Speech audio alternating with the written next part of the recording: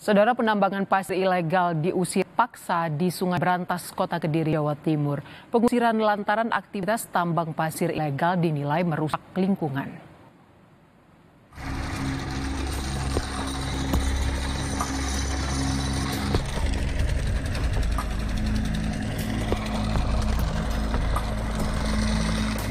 Warga mengusir paksa perahu milik petambang pasir ilegal Sungai Berantas, Kota Kediri, Jawa Timur.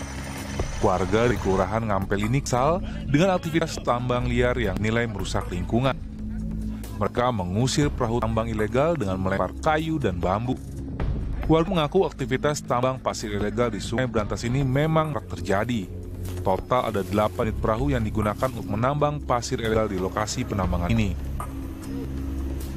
sekitar 8 sampai 7 perahu yang mencari pasir di Sungai Berantas ini yang tembus ke wilayah Ngampel. Kenapa Pak diusir Pak ini Pak?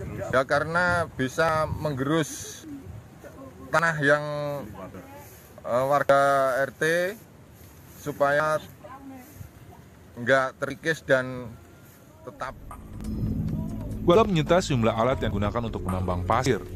Sementara polisi masih berjaga di lokasi kejadian untuk mencegah penyelangan pasir ilegal aktivitas kembali. Nanto Sukatja, Kompasifik Kediri, Jawa Timur.